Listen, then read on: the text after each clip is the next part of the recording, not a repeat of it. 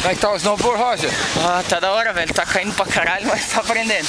Beleza, sim. Primeiro dia tá bom, sem instrutor, sem nada. Ó. Uhul!